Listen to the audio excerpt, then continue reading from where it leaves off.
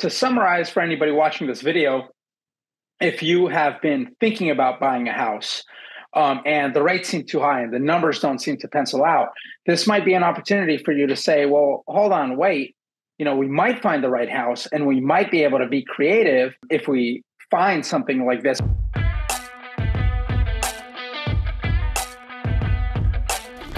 Thanks so much for taking the time to join me and answer some questions and give us some information about what's going on in the mortgage industry right now. If you'd like to just give a quick intro for whoever's watching this video about yourself and your company. Hey guys, my name is Steve. I'm a mortgage broker. My company is located in Walnut Creek, and I've been owner of this company for about three years. Prior to that, I was working in a different brokerage.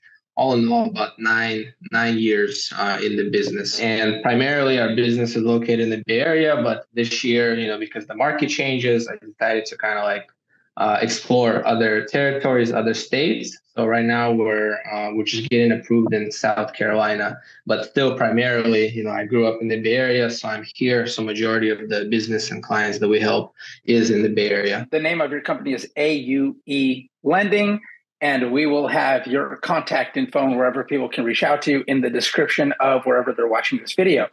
So, the reason why I asked you to join me today is um, number one, we just closed a really, really awesome, amazing deal that I've never heard of before. And I think you said is like one of the craziest ones of the year for you too. So I wanted to talk a little bit about that and to show people what's possible out there that this year, 2023, rates have gone up, interest rates have gone up from, you know, being in the high twos, low 3% interest rate range uh, in previous years, recent years, to now have having gone up above 7%. You'll tell us a little bit about where they're at today. And right now we're shooting this video, it's mid November, November 15th.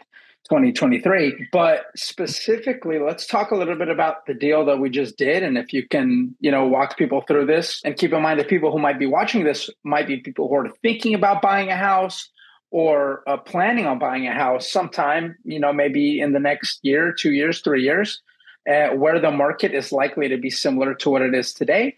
And so being creative with people like yourself, people like myself, I think is a great idea. I have to say this definitely is one of the deals that like I'm gonna remember forever. Uh, because it's kind of like unheard of, you know, in the Bay Area. Like I said, I started working in different markets. So seller concessions is a big topic now. Seller concessions is when like we make an offer and we ask the seller to credit us back some money at closing. So uh, as I work different states, different regions, you know, it's becoming more and more popular where you get 3%, like, you know, 20K back, 15K back. But in the Bay Area, it's not that common. And to be able to get a deal in where we locked in a price, which is actually below the list price, and then we asked the sellers to credit us $61,000 to use for this program called the three to one buy down, which just for people that are new to this, I know it's gaining a lot of momentum now. But basically, let's say the interest rate is 799, mm-hmm. 30 year fix.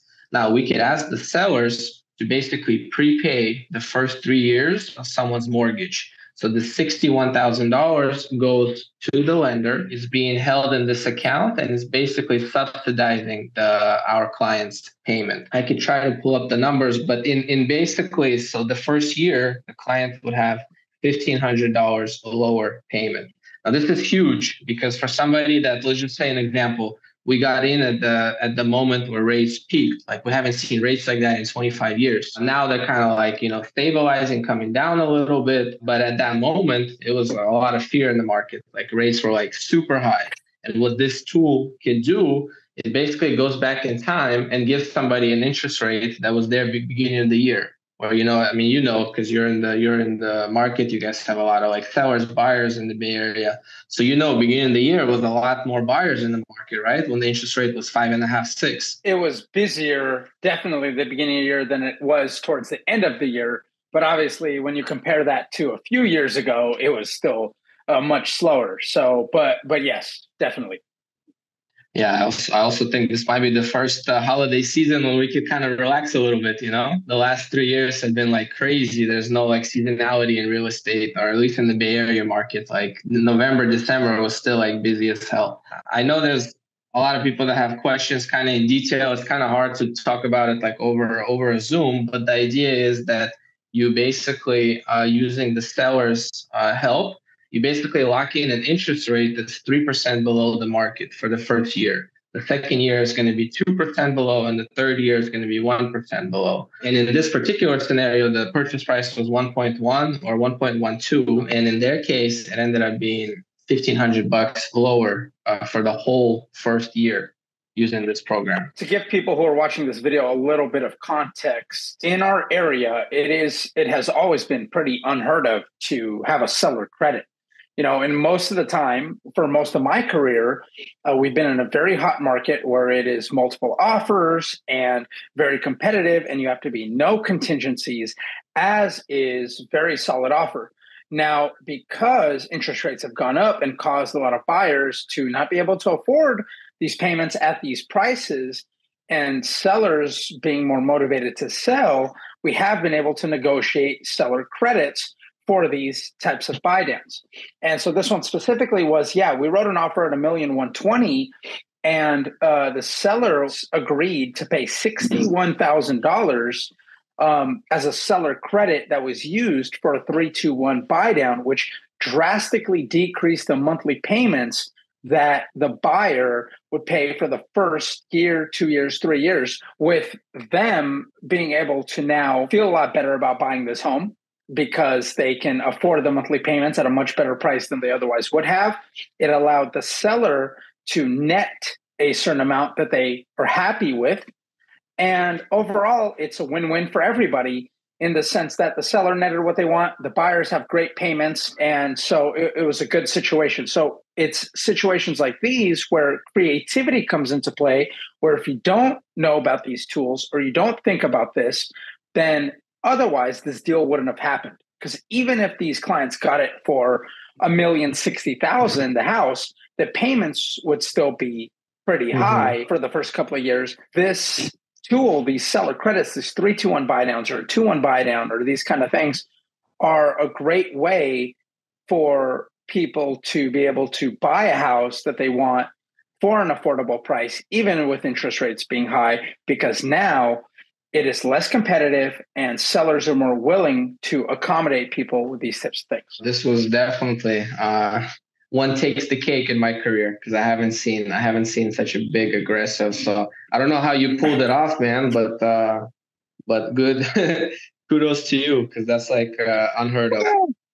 Well, I appreciate it. I'd love to take the credit, but I mean, you know, at the end of the day, it's just uh, I spoke with you and I said, "Hey, what can we do to make it affordable?" And you told me the numbers, and we wrote an offer, and we had some back and forth, and ultimately the seller agreed, and the agent on the listing side, uh, you know, talked to the seller, gave them the information, you know, and the market was in our favor as far as it mm-hmm. being slow in that particular pocket. So yeah, I appreciate that. And if you, you know, didn't recommend this, then probably I wouldn't have thought about this, right? I didn't really.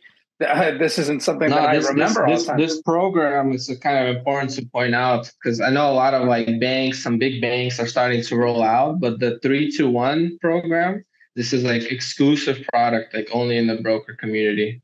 So i haven't i haven't seen any retail channels like roll this out like um, i mean i've had it i closed one actually end of last year too a little bit smaller like scenario it wasn't as big a seller credit but the three to one was already already around so that's kind of also important thing to point out because this is definitely the only program that's going to get you the best bang for your buck in terms of how to get a lower payment because rates went down. Like, you know, when we got into that deal, maybe we wouldn't have gotten into it today because the rates went down a quarter, uh, like from the time that we locked that one in. This program is the only way to get you a rate in the fives like today. To summarize for anybody watching this video, if you have been thinking about buying a house, um, and the rates seem too high and the numbers don't seem to pencil out, this might be an opportunity for you to say, well, hold on, wait you know, we might find the right house and we might be able to be creative if we find something like this, a home that's been maybe sitting on the market a little bit longer, that a seller's more motivated to sell, and they're willing to do something like this, this kind of seller credit where they net what they want to net so they can move on with their life. And you're able to get lower payments. And so I highly recommend if you're working with a realtor to speak to that realtor and uh, if you're working with a lender, get a second opinion from Steve at AUE Lending or myself as a realtor to help you out.